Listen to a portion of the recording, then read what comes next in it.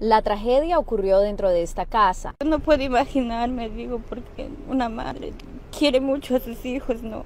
Yo pienso que ella estaría sufriendo un dolor muy triste, muy, no sé qué estaría pasando por la mente de ella. Y es que, según la investigación preliminar, al parecer Sonia Loja, de 36 años, habría estrangulado a sus tres hijos, de 5, 10 y 12 años, para posteriormente quitarse la vida. No, no puedo creer que, que una mamá seamos capaces de hacer eso, ¿verdad?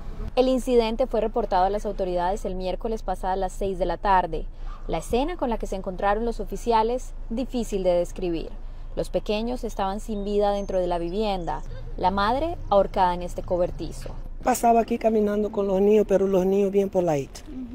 Siempre pasaba, saludaba y la sonrisa le, le daba wave a todos. No sabemos cada quien nuestros corazones, cómo estaríamos, estamos pasando, tal vez algunos momentos difíciles que estaba atravesando. Así luce la casa un día después de la pesadilla.